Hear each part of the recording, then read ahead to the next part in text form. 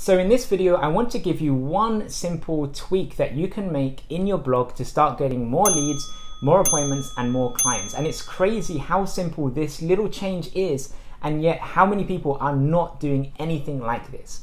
So what I want you to do is take a look at your current blog on your website and ask yourself if you are doing this one simple thing. So are you sending people from your blog to a marketing and sales funnel?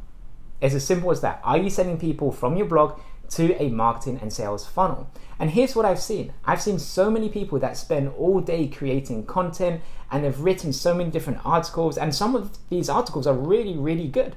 And some of these articles that they've got on their website and on their blog are actually ranking quite high on Google for different search terms. But the problem is, they're not actually getting any leads or any new business from all of this content that they have been creating. And to me, that's madness. Why would you spend all your time, energy, and resources on something that doesn't actually bring in any business? So, a simple way to fix that is send people to your marketing and sales funnel from your blog. Now, if you're not sure how to do that, let me give you an example of how you can do that and a few ideas with how I've done it on my own blog. So, the first thing you can do is have a link going to your marketing and sales funnel somewhere on the side of your blog. Okay, so this especially works well if you have some sort of two column website uh, or blog uh, on your website. Uh, so what you would have is your content on one side, and then on the other side, you'd usually have a smaller column. And in that column, all you'd need to do is have a, a link or an image or something that takes people to your marketing and sales funnel. The second thing you can do is have links going to your marketing and sales funnel inside of your blog post itself. Now, if you do this, you have to do it the right way. You don't want to just have a weird sort of blog post where you're just spamming links to your to your funnel, right? It's it's not going to work. You need to make it so that as people are reading your blog post, naturally they are going to want to learn more about how you can help them.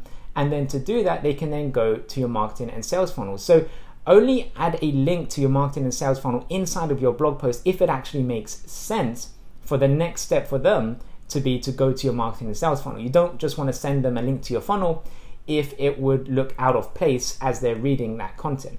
And the final thing that you can do to start getting more leads, appointments, and clients from your blog is to actually retarget people that visit your blog. A lot of the time, people will consume the content or they'll skim through it and then they'll leave and move on to something else. And they'll very quickly forget about what it is that you do.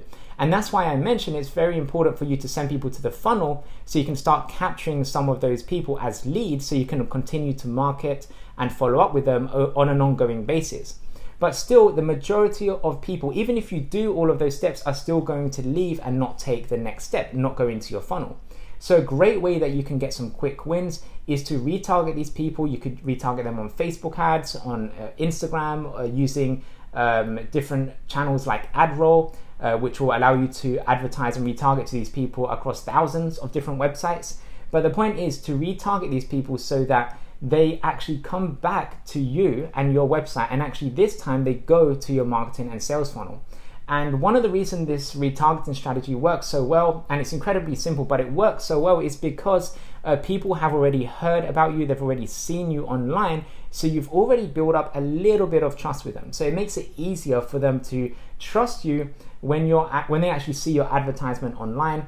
And if they have a problem that you can actually solve for them, they're going to be more inclined to actually uh, opt in to your landing page and consume that content and go into your funnel and go to the next step in your in your sales process.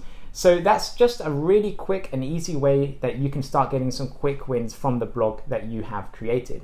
So that's what I recommend. Just make that one simple change on your blog. So if you just have content for the sake of having content, just send those people to your marketing and sales funnel and watch how you very quickly start to get a lot more leads, a lot more appointments, and a lot more clients just by making that one simple change on your website and on your blog.